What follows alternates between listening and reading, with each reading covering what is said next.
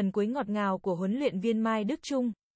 Vòng loại Olympic Paris 2024 là giải đấu cuối cùng của huấn luyện viên Mai Đức Trung cùng đội tuyển nữ Việt Nam, khép lại sự nghiệp huấn luyện tràn ngập vinh quang mà chiến lược gia 74 tuổi đã cống hiến cho bóng đá nước nhà. Cơ hội mong manh, vòng loại Olympic giải đấu mà huấn luyện viên Mai Đức Trung và đội tuyển nữ Việt Nam sắp tham dự được đánh giá là sân chơi khó nhất với các đội tuyển nữ, thậm chí khó hơn nhiều so với vòng loại World Cup.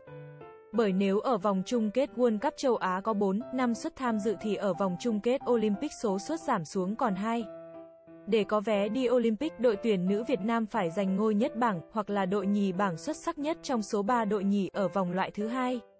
Sau đó, ở vòng loại thứ 3, 4 đội tuyển xuất sắc nhất sẽ đá theo thể thức loại trực tiếp lượt đi và về, chọn ra hai đội đến Olympic Paris 2024.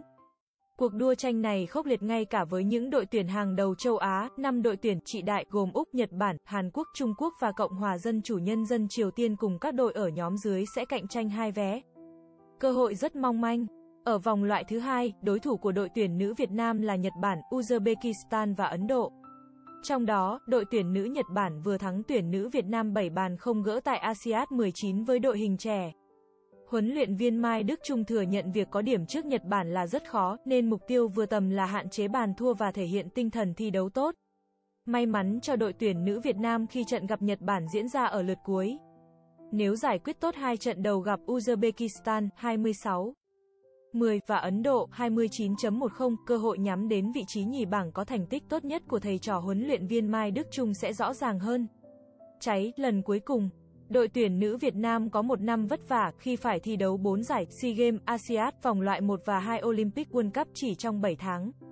Các cầu thủ tập luyện, thi đấu liên tục không có quãng nghỉ dài. Sau khi trở về từ ASEAN 19, các cầu thủ chỉ nghỉ 7 ngày trước khi tập luyện trở lại.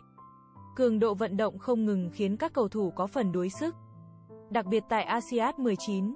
Tuy nhiên, việc trải nghiệm liên tục giúp Hải Yến cùng đồng đội trưởng thành. Và ở giải cuối cùng với huấn luyện viên Mai Đức Trung, các cầu thủ càng có động lực cố gắng trong lần cuối sát cánh cùng người thầy tận tụy. Gần hai thập niên với ba giai đoạn huấn luyện đội nữ, ông Trung là chiến tướng, đã đưa học trò từ chỗ dò đường ở Đông Nam Á nay đã vươn mình ra châu Á, hạng tư ASEAN 17 và giành vé dự World Cup 2023. Rời ghế chỉ đạo sau vòng loại Olympic, huấn luyện viên Mai Đức Trung sẽ để lại khoảng trống cùng áp lực không nhỏ cho người kế nhiệm. Dù vậy, chiến lược gia 74 tuổi đã xây dựng nền tảng tốt cho đội nữ về lối đá con người. Bóng đá nữ Việt Nam phải tiếp tục đi lên, dù không còn hình bóng tướng Trung nắm xa bàn chỉ đạo học trò. Với thực lực hiện tại, đội tuyển nữ Việt Nam đang ở top 8 châu Á, nhưng để dự World Cup thường xuyên, bảo vệ vị thế ở SEA Games, bóng đá nữ Việt Nam còn chặng đường dài để nỗ lực. Cuộc chuyển giao đang đến, và nó sẽ bắt đầu từ cái kết của huấn luyện viên Mai Đức Trung cùng học trò trong những trận đấu cuối cùng này. Bình luận viên Vũ Quang Huy chia sẻ cơ hội đến Olympic của đội tuyển Việt Nam khá mong manh khi các cầu thủ phải gặp đối thủ rất mạnh. Tôi mong toàn đội có kết quả tốt nhất dù biết khó giành vé, nhưng mong các cầu thủ thể hiện ý chí thi đấu cũng như sự kế thừa về lối chơi và kinh nghiệm đã tích lũy thời gian qua. Với bóng đá nữ Việt Nam, huấn luyện viên Mai Đức Trung đã cống hiến những gì tinh túy nhất.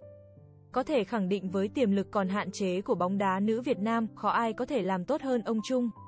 Kết quả có ra sao thì đây cũng là cái kết trọn vẹn, khép lại hành trình vẻ vang của huấn luyện viên Mai Đức Trung với đội tuyển nữ Việt Nam. Tôi chờ đợi trong tương lai bóng đá nữ Việt Nam sẽ có sự kế thừa, phát huy nền tảng ông Trung để lại tận dụng cú hích World Cup để bay cao hơn nữa. Cảm ơn các bạn đã theo dõi kênh bóng đá 24 giờ New. Đừng quên đăng ký kênh và bật chuông để nhận những tin tức mới nhất nhé các bạn.